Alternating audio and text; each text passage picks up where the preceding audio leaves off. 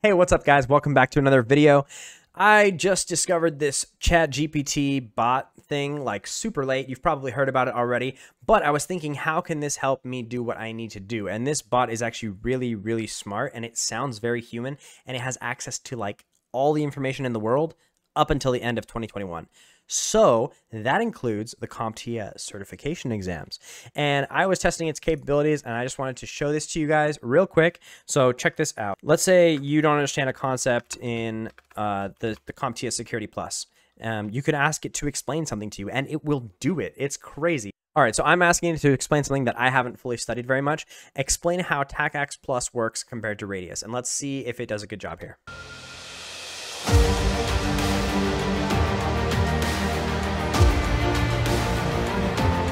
This is insane, guys. This this took like 10 seconds and it just gave me five paragraphs about the differences and similarities between TACACS Plus and Radius. Wow! You can definitely go and Google things and you can read articles and you can find a lot of good information. And I will eh, give a caveat here that this bot is not perfect, okay? You can't trust everything it says. It has been known to answer uh, tricky questions in weird ways or give um, false answers to things. So definitely verify whatever you learn, but I just gave it a, a simple question about something that I need to learn, and it gave me all these paragraphs, and it looks like really legit stuff. I mean, just by skimming this, I can see that TACACS Plus is a proprietary um, Cisco uh, is a proprietary Cisco protocol. So that's a key difference that will probably something that I need to know for my test, right?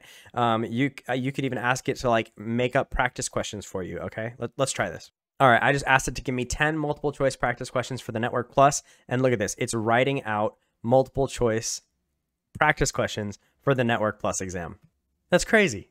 So the only thing with this is it didn't give me the answers to the multiple choice questions. I have no idea what the correct answers are. Um, when I tried this before, it did give me the, the answers like underneath the question. So, like I said, the results can vary, but this is really cool. Um, I definitely recommend checking it out and playing around with it, and it might actually be able to help you in uh, the tasks and things that you need to do. It's designed to be like an assistant, so it can write papers for you. I, I wouldn't recommend turning those in. I, I, recommend doing your own work, but it's really um, highly intelligent in the sense of being able to compose.